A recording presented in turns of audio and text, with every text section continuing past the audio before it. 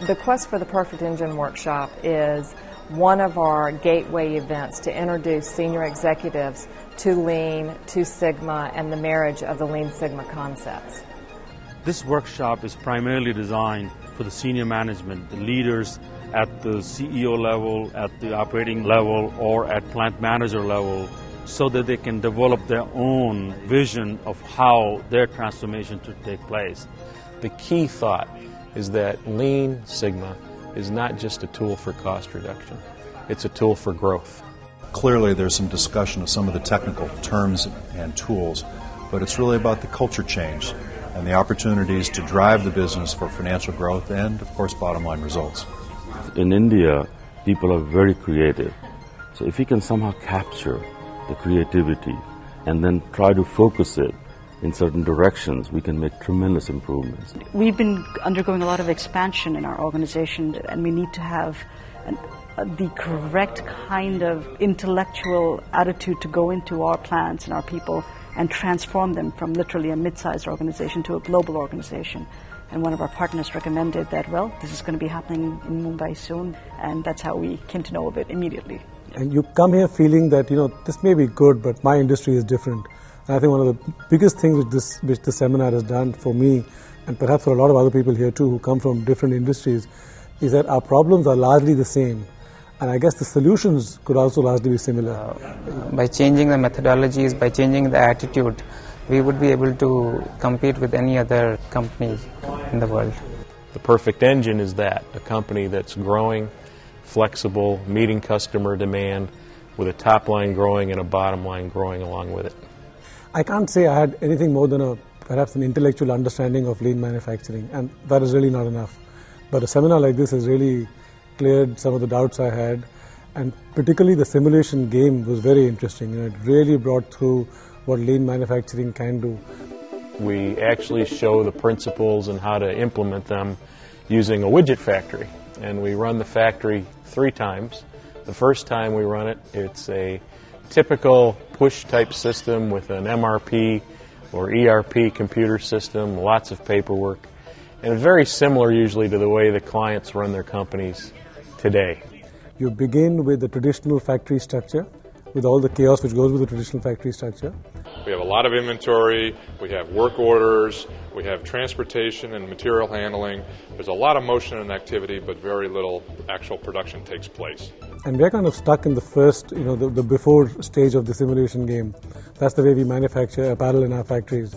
And this whole concept of moving to a flow and then to a pull system is very, very exciting. It's very much similar to what uh, we do in our business.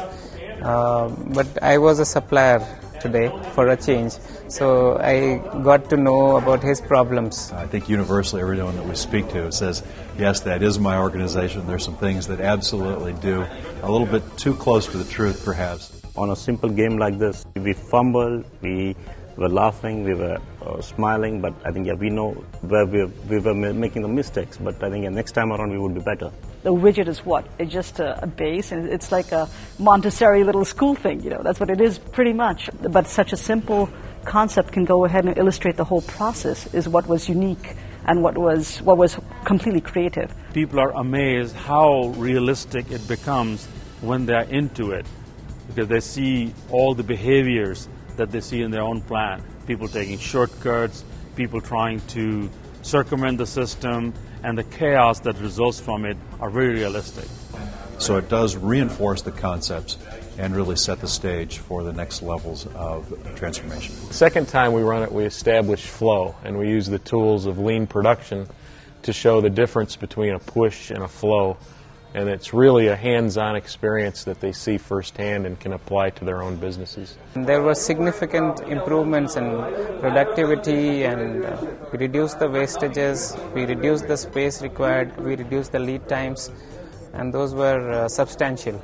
The area gets reduced to one third. You see productivity goes up by three, four hundred percent.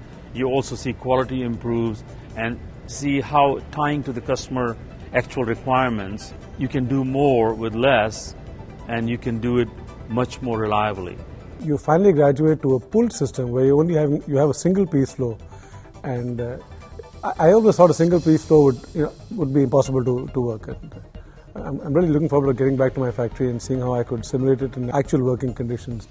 Since you're able to go at a management level to really become a worker, you're able to really understand the processes that go into it from an hands-on experience.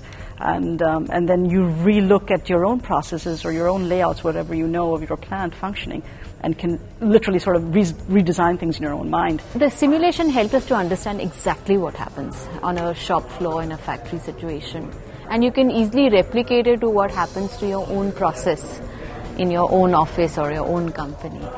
That really brought home to us how a production system could be changed to move from the traditional structure we have today to the single piece uh, flow.